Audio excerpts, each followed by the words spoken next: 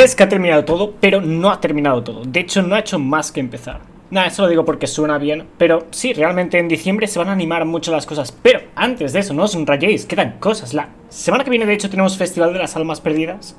Vale, Bungie se lo ha mantenido callado, pero sí, sabemos que tomará lugar la próxima semana, durará tres semanas. También tendremos dificultades para el reino fragmentado, para la alineación astral. Tendremos la pinche mazmorra, una actividad gratuita para seis, montones de otras cosas. Todo eso y más en el vídeo de hoy, ¿vale? Pasemos a ello. Nuestro patrocinador Blazing Boost ofrece servicios de ayuda en Destiny para ayudaros a conseguir aquello que más queréis del juego, al mismo tiempo que aprendéis con ellos. Desde la incursión de cámara de cristal en dificultad maestro hasta las pruebas de Osiris, pueden ayudaros con todo lo que necesitéis y además ahora contamos con un código de descuento de un 5%, Wild, como veis de fondo en pantalla, y lo podéis usar en cualquier actividad. Blazing Boost es patrocinador del canal desde hace más de un año y cuenta con más de 16.900 reviews positivas y un 5 de 5 en Trustcore, así que es el que más os puedo recomendar y si os interesa os dejaré un link abajo en la descripción. Al terminar la aventura de ayer, nos dieron esta nave, pero, Sparrow, ¿vale? Y oye, esta Sparrow no nos la tendrían que haber dado todavía. Se supone que nos la darán en la misión exorcismo, o sea, checad esto. Ahora mismo estamos en la página colecciones, ¿no? Y si nos vamos aquí a la Sparrow Recurrencia Eterna, nos dice que la fuente donde la obtenemos es la misión Exorcismo. Una misión que aún no ha tomado lugar. Ahora, no voy a spoilear nada sobre lo que puede llegar a ocurrir ahí, ¿vale? Si queréis mi opinión, he mencionado mi opinión en el vídeo de historia que habréis visto antes o ayer, ¿vale? Eh, y se supone que se ha filtrado por ahí algo de texto, de lore, ¿vale? Y demás, no voy a spoilear nada de eso. Lo que quiero confirmaros es que sí cabe esperar una misión jugable llamada Exorcismo, ¿vale? Y solo deciros que estará interesante. Quiero decir, no va a ser solamente una cinemática. Y la verdad, no sé si hay cinemática, ¿eh? O sea, ni, siquiera os voy a spoiler, no lo sé. ¿Vale? Pero sí que será jugable, ¿vale? Va a ser algo más que un diálogo, algo presencial, ¿vale? tendremos que hacer algo. Para pues eso, eso creo que a todo el mundo le interesa saber y no creo que sea nada malo. Ah, y sí, o sea, será el momento en el que exorcicemos, creo que se dice, a Sabathun de su gusano. Definitivamente estará muy interesante y de nuevo no voy a liarme mucho con el lore y la historia ahora mismo, ¿vale? Pero, o sea, no, es ninguna tontería un pinche gusano. ¿Vale? Y el pacto que formó Sabathun con los dioses de la colmena y este gran momento que Sabathun ha estado esperando desde hace la vida y que sabemos que irá bien porque en, la reina bruja... Oye, va a estar muy interesante. Más interesante aún me parece lo que ocurrirá con las pirámides este año, porque sabemos que serán planetas según Bungie, en plan, ¿qué ocurrirá con eso? ¿Vale? Y también por otra parte, pues la gran entidad que está controlando todas estas fuerzas que se están reuniendo, ¿vale? Los repudiados, iguaras, los poseídos y demás. O sea, bueno, mira, de nuevo, no iba sobre lore y me estoy liando con ello. Pero sí, o sea, me parece realmente interesante que esta Sparrow exótica ah, nos la hayan dado antes. Quizás eh, sea un error, o sea, bueno, sí, definitivamente en mi opinión es un error. Me pregunto exactamente por qué. Quizás porque lo tenían planeado para lanzar eh, a estas alturas la, aventura, no lo sé, ¿vale? Pero ah, la hemos obtenido antes de tiempo, eso seguro. Y bueno, confirmación de que tendremos al menos una misión llamada Exorcismo. Ahora, ¿cuándo puede tomar lugar esta misión? En mi opinión, puede tomar lugar Primero, la semana que viene. En mi opinión, lo dudo un poco, pero oye, pongámosle como opción A, semana que viene. Opción B, cuando termine Festival de las Almas Perdidas, porque Festival empieza la semana que viene y enseguida pasamos a los detalles de Festival y el resto de contenido que nos espera. Pero si no es en Festival, ya será al terminar el 2 de noviembre, quizás entonces. Y si no, ya tendría que ser a finales de temporada. Vale, una temporada suele durar tres meses, aunque esta ponga ciento y pico días, vale, así que podría ser en diciembre.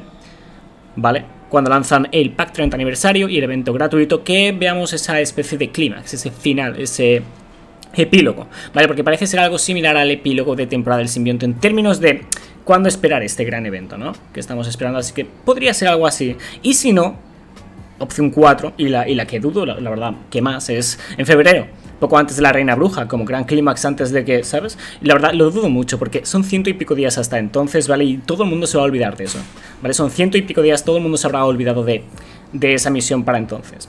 Así que, en mi opinión, tiene que ser la próxima semana, o el 2 de noviembre, o ya en diciembre. No, podría ser en febrero, pero lo dudo mucho. Luego, por otra parte, y regresando a lo que estábamos hablando antes, tenemos el Festival de las Almas Perdidas, el 12 de octubre.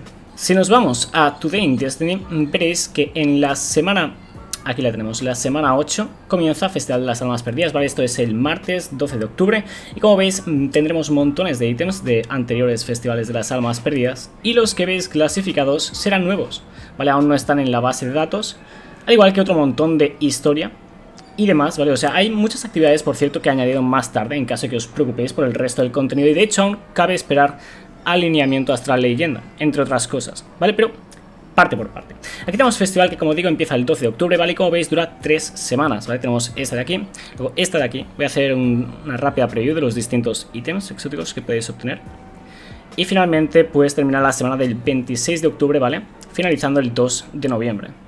Ahora, al margen de esto, Bungie nos confirmó que Además de la típica, ¿vale? Lo que solemos hacer en estos eventos con Levante y demás, también tendremos una nueva actividad en los sectores encantados.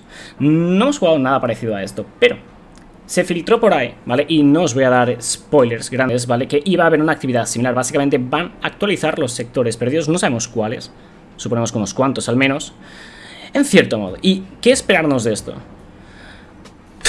La verdad, no me espero mucho más que cambios cosméticos. Y os mencioné hace unos meses que se filtró por ahí. De hecho, no se filtró, espera. Esto forma parte del lore. En alguna frase uh, apareció, básicamente, que el cuervo mencionaba a enemigos sin cabeza, ¿vale? Y que eran de la colmena. Y luego mencionaba que eh, reemplazaban las cabezas con calabazas o similar. Y bueno, entre todas esas frases había una que decía, has terminado con el último de los enemigos sin cabeza. Básicamente confirmando que nos enfrentaremos a algo similar y muy probablemente se trate de eh, enemigos con cambios cosméticos, probablemente nuevas skins en estos sectores encantados. Así que sí, yo me esperaría mm, sectores actualizados quizás con algo más de dificultad o algún modificador especial, también esos cambios cosméticos en la skin, quizás un poco el ambiente y lógicamente las recompensas. Estará interesante, quiero decir, es algo nuevo y fresco, así que espero que se lo ocurren. Las armaduras, sin duda, estarán realmente genial, ya las habréis visto de fondo en pantalla y por ahora solo hemos visto este par, ¿vale? Así en plan las oficiales, oficiales, pero hace ya creo que incluso un año nos mostraron esa imagen que estaréis viendo de fondo en pantalla, en la que vemos el arte conceptual de las armaduras, de las tres, ¿vale? Así que deberían ser relativamente similar a lo que estáis viendo de fondo en pantalla.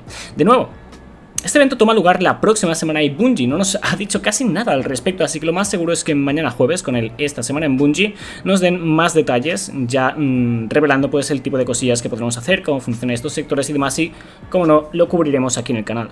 Luego por otra parte tenemos las dificultades de alineación astral y el reino fragmentado. En este calendario de mierda que nos hicieron, que no tiene ni fechas exactas, no nos dicen nada, vale, pero se supone que tomarán lugar el 19 de octubre. ¿Vale? Martes 19 de octubre se supone que tendremos acceso a la dificultad de alineación astral, reino fragmentado y me espero algún cambio. ¿Vale? Además de que sea un poco más difícil, uh, quizás tengan que ver con el desenlace de la temporada, con ese clímax que esperamos, con la misión exorcismo, similar. Digo yo que tendrá que ver algo con la historia, así que será interesante eh, ver qué nos presentan entonces. De nuevo, esto tomará lugar el 19 de octubre, por lo que sabemos. Luego, más allá de eso, el 26 de octubre, martes 26, toma lugar el estandarte de hierro, ¿vale? El de este mes de octubre. Y luego, más allá de eso, habrá que esperar ya a diciembre, ¿vale? Al evento del 30 aniversario de Bungie que es gratuito, por cierto, y luego también al pack, ¿vale? O sea, durante eh, la misma fecha, el 7 de diciembre, llega el evento gratuito que incluye una aventura para 6 jugadores gratuita, ¿vale? Además de otra serie de armas que se podrán obtener. No han confirmado exactamente cuáles son de pago y cuáles de... Serán gratuitas, mostraron ellas Luna, que dudo que pongan de pago, ¿vale? Así que supongo que habrán varias cosillas que se podrán obtener y, no, y faltan detalles. Tienen que decirnos más al respecto porque no sabemos ni de qué tratará la actividad. Y esto es lo único que vemos. Esta imagen es en plan, mm, sí, hay, dudas, pero parece interesante. Luego, en cuanto al pack, ya nos confirmaron que tendrá que ver con una mazmorra en la que podremos obtener Galarhorn a través de una aventura. Y por cierto, Galarhorn contará con un catalizador, será relativamente distinta y se supone que más potente. En caso de que estéis preocupados de que Bungie la haya nerfeado, se supone que será más potente. Luego también se podrán obtener las armaduras Espino, ¿vale? Con el pack en la misma mazmorra. Y más allá de eso, la verdad que mm, sí, habrá que esperar. Sabemos que habrán momentos de triunfo. La aurora, que debería tomar lugar poco después de, de Festival de las Almas Perdidas. Supongo que lo revelarán, lo revelarán muy pronto, de camino a diciembre. Es posible que, sí, diría que diciembre debería tomar lugar la aurora. El último evento de la aurora comenzó el 15 de diciembre y terminó en enero. ¿Vale? Duró tres semanas. Así que, sí, digo yo que tendrá que, bueno, tomará lugar en diciembre y pues eso, quizás termine en enero. Y más allá de eso, pues los momentos de triunfo y ya esperar. La reina bruja. Probablemente hayan muchísimas noticias de camino entonces. Ahora, eso es lo que esperamos. Lógicamente Bungie nos tiene que dar mucha más información y os mantendré actualizados. Y como os dije, es probable que mañana con el TOAM nos den información como mínimo sobre el evento de la próxima semana, festival, así que atentos a eso.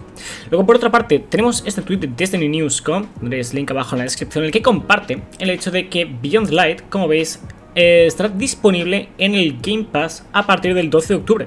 O sea, a partir de la próxima semana, los que tengáis Game Pass para PC podréis acceder gratuitamente a Beyond Light. Genial. Tendrían que haberlo hecho hace mucho tiempo, pero oye, Mejor tarde que nunca, supongo.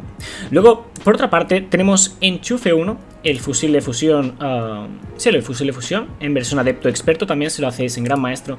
Y Usume RR4, versión adepto experto, se lo hacéis en Maestro, como recompensas del asalto de ocaso esta semana. Si tenéis cualquier duda sobre, sobre cómo completarlo, subí una guía detallada ayer, explicando cómo completar cualquiera de las fases, eh, explicando los builds y varias otras recomendaciones en caso de que juguéis con las distintas clases. Luego, por otra parte, Venganza de Pradith, el fusil, el, sí, fusil francotirador, es la recompensa si completáis el desafío de Cámara de Cristal Maestro. El desafío es el de un único, un único oráculo para ti, ¿vale? Y os pide derrotar no más de un oráculo cada uno. Entonces, una vez Aethion os teletransporta, el de las reliquias siempre se ocupará del tercero. De ese modo, los que no tienen reliquia deciden quién destruye el primer oráculo. Uno destruye el primero, el otro destruye el segundo y el de la reliquia destruye el tercero. Mientras no destruyáis más de un oráculo cada uno y derrotéis a Aethion, completaréis el desafío y podréis obtener este arma. Más allá de eso, os continuaré subiendo guías de los distintos Gran Maestro y os continuaré informando de las noticias, lore y demás, pero también si os interesa saber sobre el lore de, esta historia, lo que ocurrió ayer, pues echadle un vistazo al vídeo que os subí antes. Ahora ya terminamos por hoy con las noticias, continuaremos mañana con el Esta Semana en Bungie, así que atentos a ello porque definitivamente estará interesante. Y al margen de eso, nada más, eh, pasa un buen día, buena semana, bendiciones, de a tu madre que la quieres, suscríbete si no lo estás y nos vemos en el próximo vídeo. Adiós.